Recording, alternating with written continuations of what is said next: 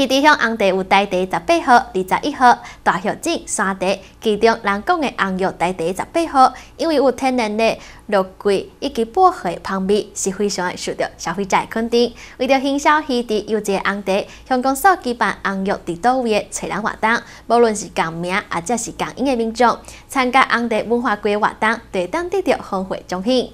最近经过高速公路，有看到大楼的面顶有一个大型的布条，内容是要找找红玉伫倒位。红玉在哪里？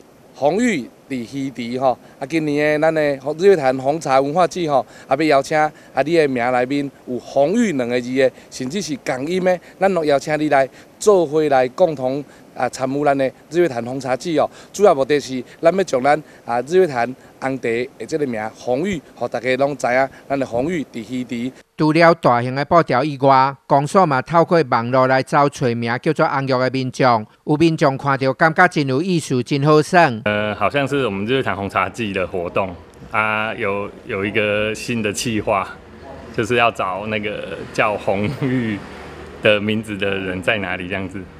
哦，那你是从什么地方去找？呃，我是 FB 上面看到那个讯息的，就是这样。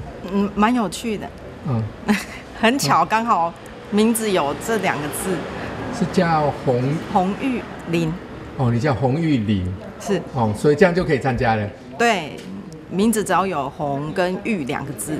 这个找找红玉的活动，跟溪地乡的红茶有关联。因为红玉是目前上界受欢迎的红茶品种，尤其是有天然的肉桂甲薄荷的香味。咱知影吼，啊，大地十八号就是咱的红玉红茶吼，啊，其实啉起来吼，口感非常的赞吼，啊，伫咧颜色色泽上面吼是呈现啊黄金褐色，另外呢，伊的口感吼啉起来有淡薄啊，这个薄荷的香味哦，这是非常特殊的这个气口吼，甲气味。